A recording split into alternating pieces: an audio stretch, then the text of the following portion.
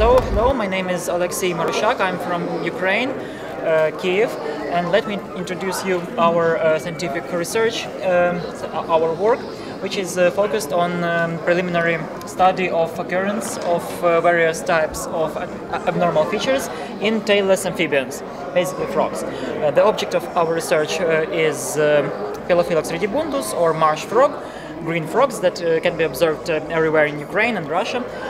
and um, the aim of our work was to see which um, was to find which um, features of uh, uh, the coloration of these frogs and uh, which abnormalities can be indicators of presence of different pollutants. Uh, so um, we made um, 11 samples from Kiev and uh, Kiev region and compared uh, different manifestations of coloration like for example type of dots, uh, type of uh, basic color, type of dorsomedial line, uh, occurrence of uh, morphological abnormalities uh, as well. So you can see the examples like um, additional limbs, absence of eyes, unresorbed tail, additional uh, additional phalanx, etc.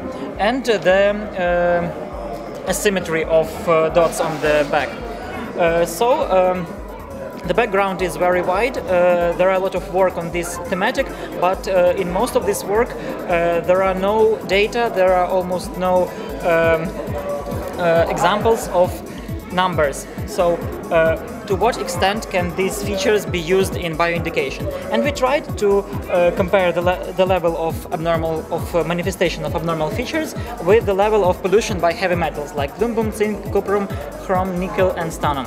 And um, uh, we also did uh, simple statistics like correlation analysis with Spearman correlation and um, analysis of variance to see which um, which features will be most um, promising uh, to be used in bioindication in further investigations. And here are the results. So such parameters as percentage of abnormal individuals in the sample, uh, fluctuating uh, asymmetry level, so asymmetry of dots on the back, and uh, melanization of the belly and uh, uh, type of type of spots like dots and medium-sized spots are um, they showed um, correlation.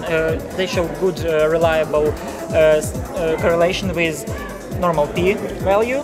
Um, and therefore they can be used in further investigations, in further bioindication studies uh, to examine um, whether particular type, particular uh, feature can be responsible, uh, sorry, particular abnormal manifestation of particular features can be responsible for or can show the presence of certain pollutant or not uh, or not pollutant but a certain impact. So it it could be not only uh, some substances or metals or radionuclides it also can be parasites it also can be a combined effect of factors, but at least we tried to uh, start this uh, investigation and we hope that in future we will get more close and uh, more um, uh, narrow results. So to say which um, which anomaly can uh, is caused by which type of pollutant.